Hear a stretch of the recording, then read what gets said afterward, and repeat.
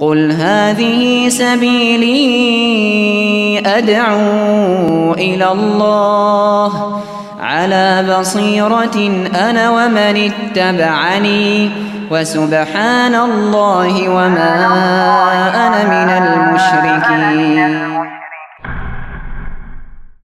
بسم الله الرحمن الرحيم. السلام عليكم ورحمة الله وبركاته. Alhamdulillah. Wassalatu wassalamu ala rasulillah Wa ala alihi wa sahbihi wassalam Baik kita lanjut Pelajaran pagi ini. Sesi Berapa? Bagian ke-28 Sesi 31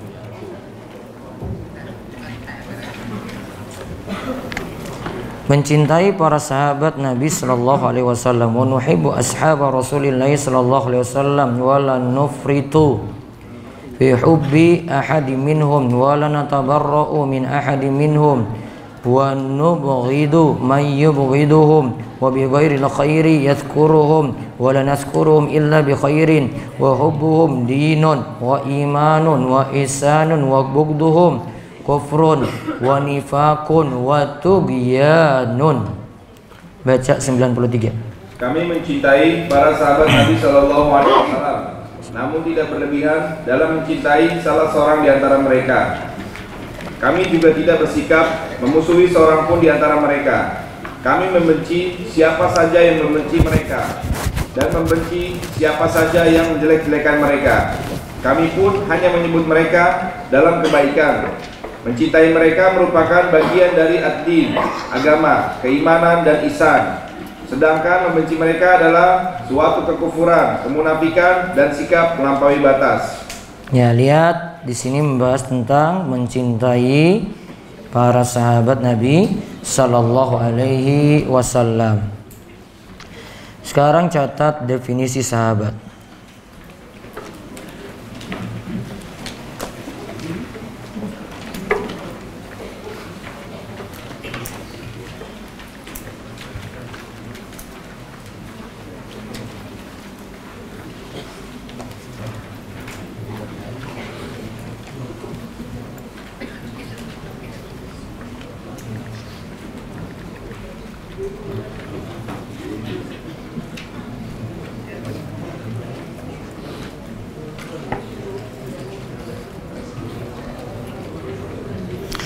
Sahabat adalah orang yang bertemu.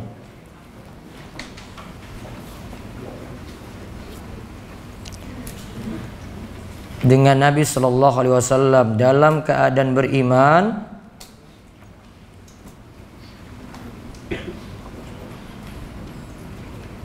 dalam keadaan beriman dan mati dalam keadaan beriman pula.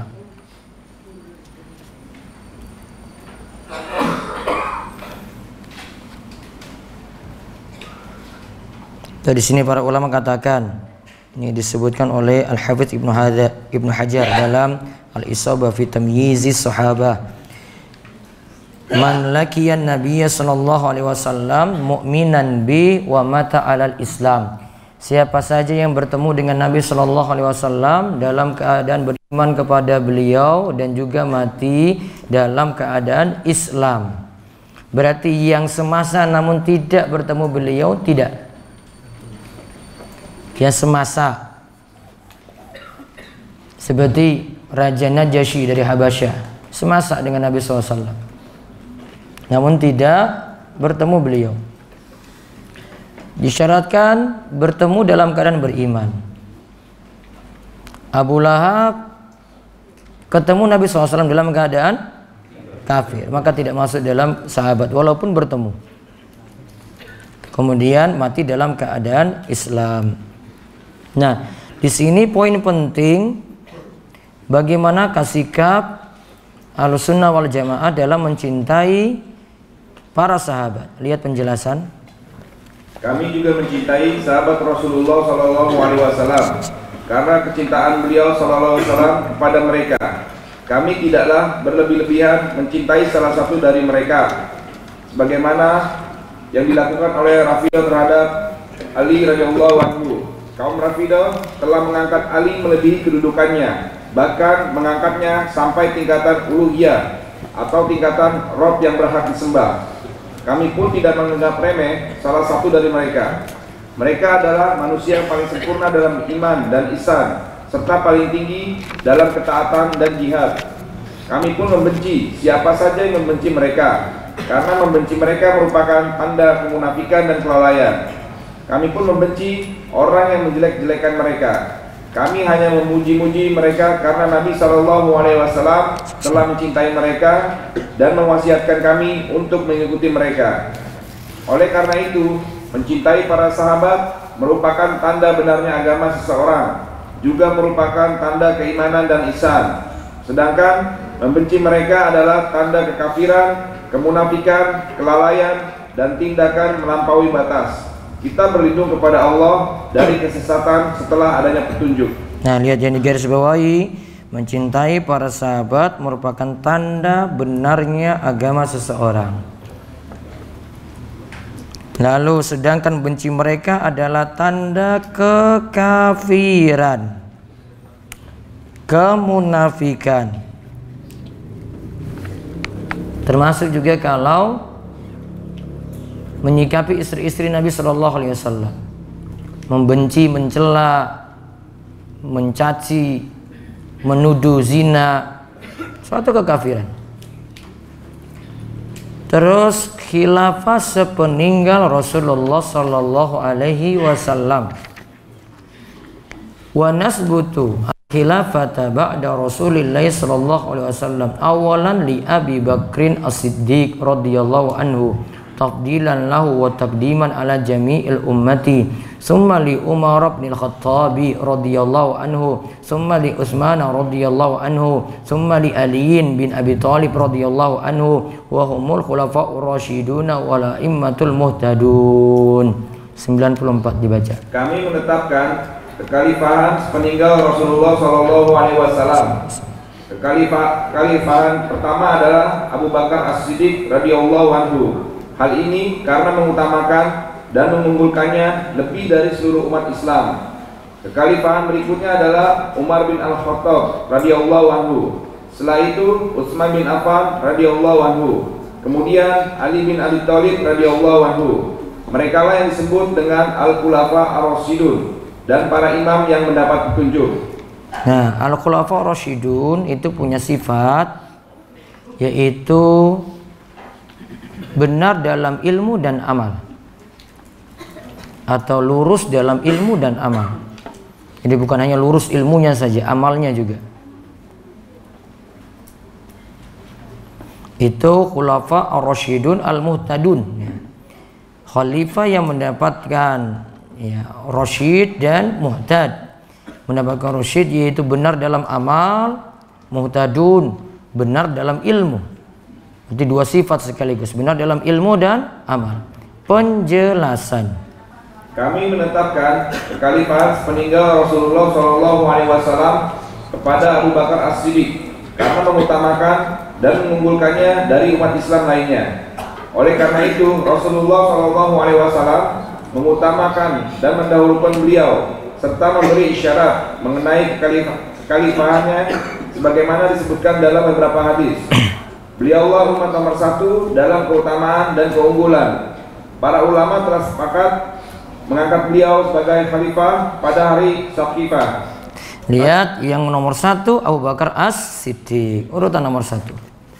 Jadi ini sekaligus pernyataan Imam Tahawi sekaligus membantah Syiah Rafidah yang menyatakan kalau khalifah berikutnya meninggal Nabi SAW harusnya Ali bin Abi Thalib. Ya, harusnya Ali bin Abi Thalib. Sudah membantah sekalian. Diurutkan tadi ya, kalau Imam Tahawi urutkan Abu Bakar dulu kan, terus Umar, terus Utsman, terus Ali. Terus khalifah setelahnya Khalifah setelahnya adalah Umar bin Al-Khattab radhiyallahu anhu yang telah dipilih oleh Abu Bakar sebagai penggantinya. Keduanya adalah sahabat Rasulullah Shallallahu Alaihi Wasallam. Nah, Umar juga dibenci oleh orang-orang Rafidah. Abu Bakar, Umar. Nah, terus khalifah setelah Umar. Khalifah setelah Umar adalah Utsman bin Affan yang dijuluki Dzunurain yang memiliki dua cahaya karena menikahi kedua putri Rasulullah Shallallahu Alaihi Wasallam. Sampai-sampai Rasulullah Shallallahu Alaihi Wasallam mengatakan seandainya saya masih punya putri ketiga lagi, ya, saya serahkan pada Utsman bin Affan. Itu laki-laki macam bagaimana coba lihat itu mulianya. Iya kan? Seandainya punya yang ketiga lagi, kasih itu. Ya, kasih untuk Utsman. Karena pertama dengan siapa? Ruqayyah meninggal dunia. Terus dengan Ummu Kulsum meninggal dunia. Andai ada ketiga lagi ini, Utsman kamu dapat juga nanti. Masya Allah luar biasa kan? Itu saya sudah menunjukkan keutamaan dari Utsman bin Affan. Ya, dibanding dengan sifat-sifat yang lainnya begitu banyak lagi. Ya, karena menikahi kedua putri Rasulullah Shallallahu Alaihi Wasallam. Awalnya ketika itu, ketika mau menikahi Ummu Kulsum yang kedua berarti, uh, awalnya Umar itu tawarkan Hafsah, ya, tawarkan Hafsah putrinya yang menjanda di usia 18 tahun. Berapa tahun? Nah, 18 tahun. Itu janda luar biasa itu. Mau cari ya. 18 tahun. Terus Umar bingung nih.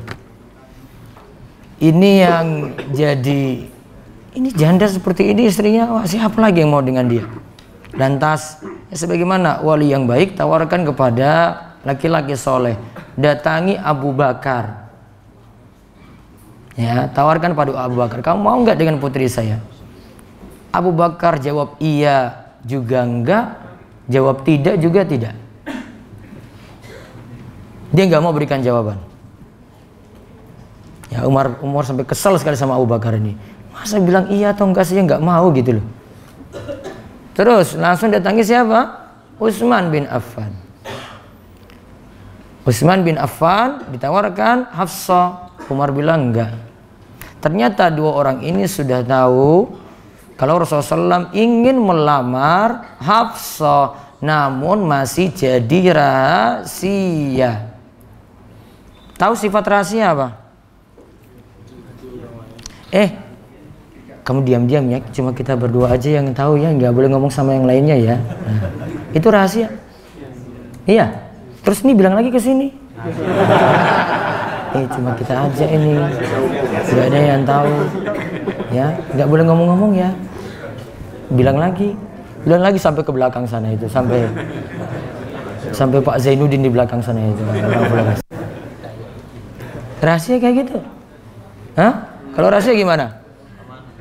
Amanah kan? Diam kan? Gak boleh beritahu kan? Nah, itulah amanahnya Abu Bakar dan Utsman. Karena masih jadi rahasia, siapa tahu nggak jadi. Maka nggak diberitahu. Abu Bakar bilang enggak. Rasulullah SAW itu sudah mau dengan Hafsah. Enggak, diam. Paham ini rahasia begitu ya? Bukan beritahu ke yang lain, kamu diam-diam ya, cuma kita berdua aja ya. Ini ngomong lagi, ngomong lagi. Eh satu mesti tahu semuanya. Eh bocor juga dia. Oh mau mau incar si perempuan itu. Ah, gak jadi rahasia lagi. Dah, terus akhirnya Rasulullah SAW maju kemudian melamar. Siapa tadi? Hafsah. Umar gak sedih dapat pengganti bukan dengan Abu Bakar, bukan dengan Utsman, namun dengan siapa? Rasulullah SAW lebih baik kan? Maka sabar siapa tahu kamu dapat yang lebih baik. Itu kalau dapat. Iya kan? Dapat ganti lebih baik nggak eh, baik. Terus Usman. Dapat ganti siapa? Usman kan nggak dapat Hafsah tadi kan? Iya kan? Dapat ganti siapa? Ummu Kulsum. Ummu Kulsum siapa? Putri Rasul Shallallahu Alaihi Wasallam. Gak dapat Hafsah. Dapat siapa? Putri Rasul. Mbok sabar-sabar. Namun jangan terlalu banyak. Standar tinggi. Mbok diturunkan standarnya. Namanya tanah pinggir jalan itu nggak laku-laku bertahun-tahun karena harga terlalu mahal coba kalau diturunkan laku nggak nah, gitu paham belum masih subuh nih jadi saya masih semangat Ya, kamu disikat-sikat aja gitu. Ya, sudah Umar tadi ya. Di antara keutamaan Utsman ya, di antara keutamaan setelah Umar Utsman. Di antara keutamaan Utsman apa? Dua putri Nabi SAW dinikahi. Nabi punya berapa putri memangnya? Nabi punya berapa putri? Nabi Muhammad SAW punya berapa putri? Hah? Ya Allah, inna lillahi wa inna ilaihi rajiun ya Allah. Enam kepian enam. Empat putri. Terus tiga putra. Yang dari Khadijah enam. Yang dari Khadijah enam. Yang satu putra dari Maria Al-Kiptiyah. Yang enam ini enam tadi. Tadi sudah dua ya putrinya ya. Putri dulu tadi siapa? Tadi sudah dua tadi. Ruqayyah Ummul. Siapa lagi? Zainab. Terus Fatimah. Terus putra. Tadi putri. Putra. Ibrahim. Ini dari dengan budaknya yaitu Maria Al-Qibtiyah. Terus Abdullah Qasim. Tiga putra. Abdullah, Qasim, Ibrahim. Ibrahim itu yang meninggal ketika terjadi gerhana matahari. Totalnya berapa semuanya? Tujuh. Yang putra semuanya meninggal ketika kecil. Ya. Yang putri tadi yang meninggal semasa hidup Nabi SAW, Ruqayyah dan Ummu Kulsum, juga Zainab. Sisa Fatimah. Zainab suaminya Abul As. Ruqayyah Ummul Kulsum suaminya Utsman. Terus Fatimah suaminya Ali bin Abi Thalib. Terus sekarang khalifah setelah Utsman. Khalifah setelah Utsman adalah Ali bin Abi Thalib radhiyallahu anhu, suami dari Fatimah, putri Rasulullah Shallallahu alaihi wasallam. Keempat orang ini adalah sahabat yang paling utama. Mereka lah Khulafaur Rasyidin dan Imam Al-Mahdiyin yang mendapat petunjuk di mana Rasulullah wasallam memerintahkan kita untuk mengikuti sunnah mereka. Nah, terus sudah empat disebutkan keempat orang ini sahabat yang paling utama. Jadi kalau ditanya sahabat yang paling utama dari kemarin kita sebut sekitar 150 ribu sahabat tadi yang paling utama siapa? Yang paling utama adalah Khulafa Rasyidin Abu Bakar, terus Umar, terus Utsman, terus Ali. Lalu tentang 10 orang yang dijamin masuk surga. Wa annal asyarata alladhina sammahum Rasulullah sallallahu alaihi wasallam wa basyarahum bil jannah ala ma syahida lahum Rasulullah sallallahu alaihi wasallam wa qauluhul haq wa hum Abu Bakrin wa Umar wa Uthman wa Ali wa Talha wa Zubair wa Sa'ad wa Sa'id wa Abdurrahman bin Auf wa Abu Ubaidah bin Al-Jarrah wa huwa aminu hadhil ummah radhiyallahu anhum ajmain. Baca. 10 orang sahabat yang disebut-sebut Nabi dan diberi kabar gembira sebagai penghuni surga. Kami mengakui bahwa mereka adalah penghuni surga sebagaimana persaksian Nabi Shallallahu alaihi wasallam dan perkataan beliau adalah benar. Mereka adalah Abu Bakar, Umar, Utsman, Ali, Talha bin Ubaidillah, Az-Zubair bin Al-Awam, Sa'ad bin Abu bin Abi Waqqas, Sa'id bin Zaid, Abdurrahman bin Auf dan Abu Ubaidah Al-Jarrah, orang terpercaya umat ini. radhiyallahu anhum ajmain.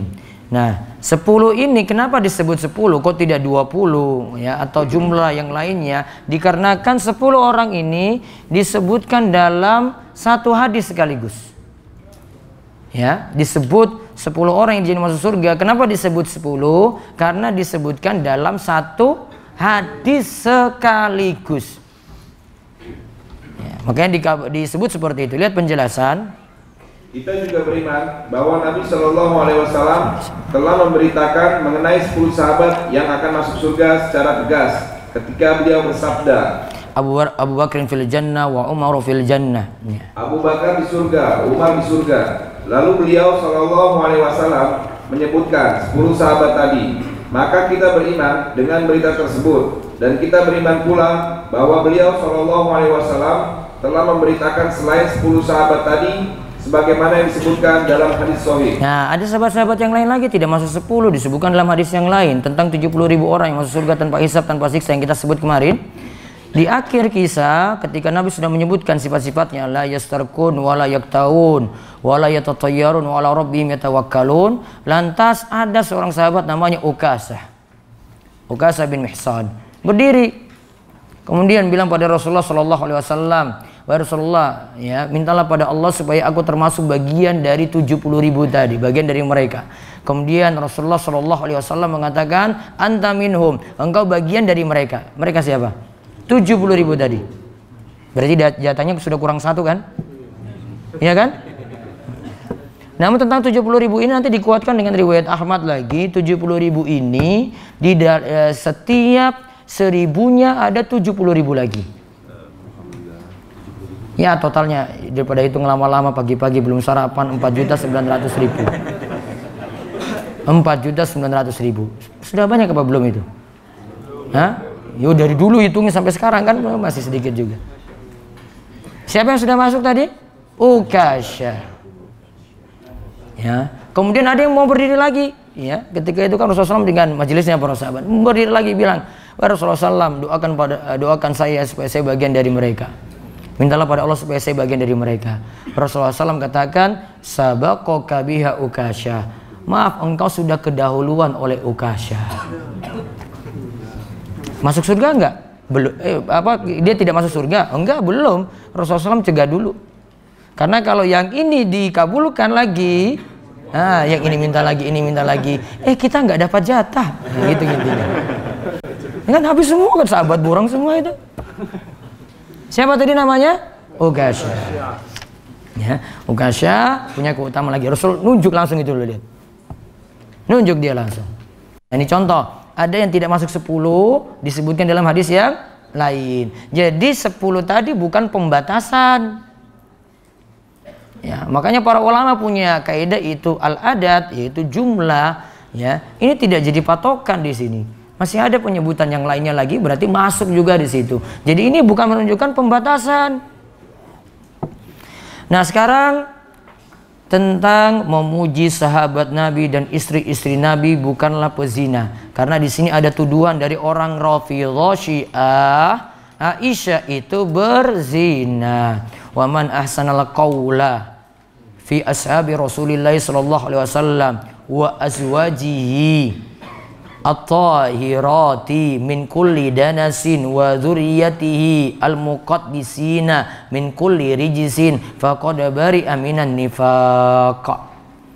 96 Barang siapa yang memuji para sahabat Nabi sallallahu alaihi wasallam istri-istri beliau yang bersih dari segala noda serta anak cucu beliau yang suci dari segala kotoran maka orang itu telah selamat dari kemunafikan Kosa kata danasin kotoran atau noda, rijisin kotoran yang buruk. Penjelasan. Siapa saja yang memuji sahabat Rasulullah Shallallahu Alaihi Wasallam dan tidak terjerumus dalam menjelekan salah seorang dari mereka, begitu pula memuji istri-istri beliau yang tersucikan dari berbagai noda dan terbebas dari berbagai dosa, serta memuji keturunan beliau Shallallahu Alaihi Wasallam dari berbagai kotoran yang kita diperintahkan untuk mengikuti mereka dan berwasiat mengenai mereka semua yang berperilaku semacam ini berarti mereka telah terlepas dari kemunafikan. Nah, biar terlepas dari kemunafikan, agungkanlah para sahabat, muliakan mereka, puji mereka, doakan mereka, termasuk juga istri-istri Nabi Shallallahu Alaihi Wasallam. Istri Nabi yang berapa? Ada berapa? Sebelas. Sudah hafal belum? Eh bawa-bawa banyak mimpi poligami aja kalian itu nggak bisa hafal-hafal kayak begini. Apa? Berapa? Sebelas. Siapa pertama? Catat, catat, catat, catat. Orang dihafal orang sah poligami, wis. Siji wae. Siapa pertama? Khadijah binti Khuwailid. Istri kedua, Saudah binti Zam'ah. Saudah binti Zam'ah. Istri ketiga, Setelah Saudah Aisyah. Aisyah binti Abu Bakar. Awalnya itu Khadijah meninggal dunia, ah, sudah punya ada dua calon nih. Rasulullah SAW disuruh milih mau milih janda apa gadis. Rasulullah SAW milih Saudah. Namun ada riwayat yang lain katakan Aisyah. Ya, namun yang lebih kuat pendapat jumhur Saudah dulu baru kemudian Aisyah. Nah, setelah itu Hafsah binti Umar. Usia berapa tahun tadi dinikahi? 18. Yang masih gadis cuma Aisyah ya. Aisyah dinikahi usia berapa? 6 tahun. Terus digauli usia 9 tahun. Ya. Ini nggak usah dikomentari yang 6 9 nih. Wes diimani wae. Malah komentar dosa nanti. Diam aja, selesai. Ngapain komentar? Iya kan? Oh, kayak begini kayak begini, diam aja. Wes diam, sudah selesai. Gak usah komentari. Ini Rasul hormati kan? Gak usah dikomentari, oh, ini kok kayak gini gini gini. Eh, diam aja sudah. Itu Rasulmu. Terus yang ke berapa?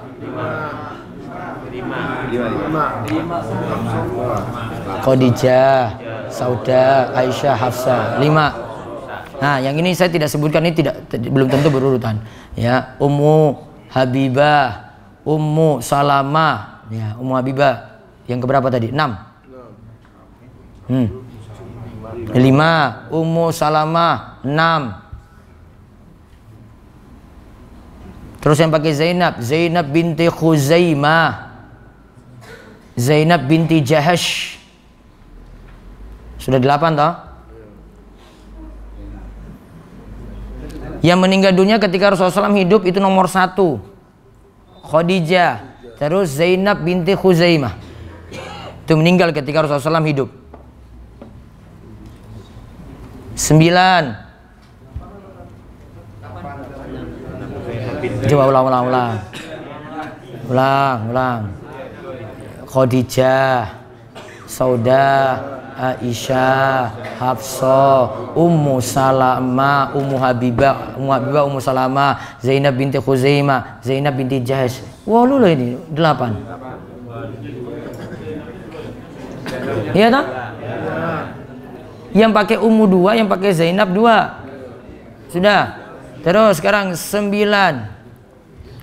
Juwairiyah binti Al-Haris. Juwairiyah binti Al-Haris. Sepuluh. Juwairiyah.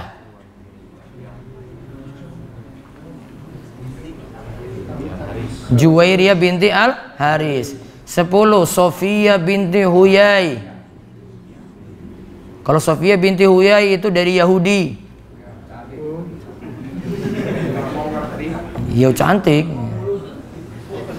Kalau Sofia binti Huyai ini yang yang uh, ada istri yang lain tidak suka dengan Sofia gitu. Ya, sampai Hafsah bilang dasar kamu wanita Yahudi gitu. Langsung Sofia nangis-nangis. Rasulullah masa saya dibilang kayak begitu. Rasulullah malah muji lagi kamu ini dari keturunan yang mulia. Kemudian dari juga nabi yang mulia.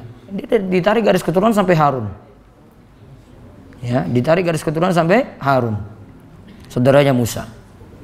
Nabi yang mulia. Terus kamu sekarang berada pada perlindungan Nabi yang mulia. Siapa? Nabi Muhammad SAW Awalnya itu Sofia itu orang yang membenci Rasulullah SAW karena dua orang terdekatnya, suaminya dan bapaknya meninggal dunia karena perang dengan Rasulullah SAW. Maka di muka bumi ini yang paling dibenci oleh Sofia siapa? Rasul. Kemudian Rasulullah SAW utarakan kalau dia itu berperang ini kayak gini, kayak gini, gini, gini, gini. Ya, yang menyebabkan dua orang dekatnya itu tadi tewas ya Rasulullah SAW kemukakan alasan akhirnya lululah hati Sofia kemudian menikah dengan Rasulullah SAW kemudian berbalik tadi pernyataannya sekarang yang paling saya cintai adalah Rasulullah Shallallahu Alaihi Wasallam. Maka kalau benci jangan benci benci banget. Ya kan bisa berbalik gitu. Kalau cinta Jangan cinta-cinta banget. Bisa balik lagi benci banget.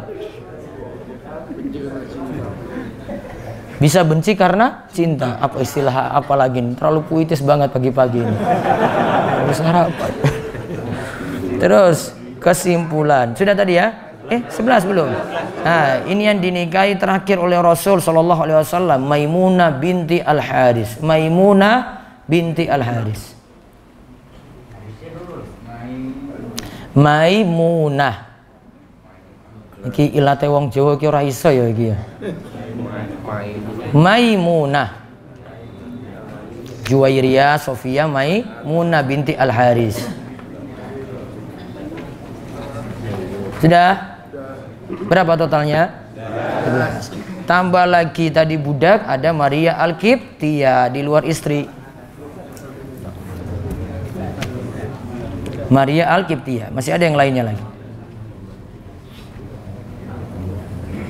Nah, Maimunah binti Al-Haris besok kemis di Bintaro.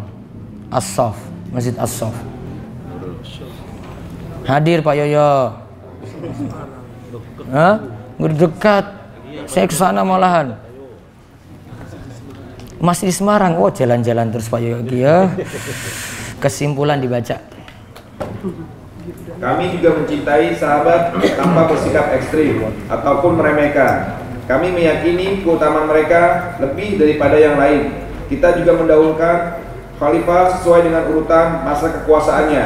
Kami pun mengenal 10 sahabat yang telah dikabarkan akan masuk surga.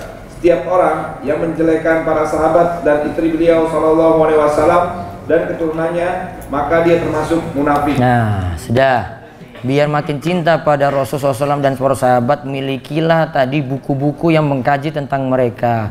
Ya punya buku Siro Nabi ya dah. Terus tentang cita-cita para sahabat dikaji. Cerita-cerita tentang istri Nabi Shallallahu Alaihi Wasallam dikaji.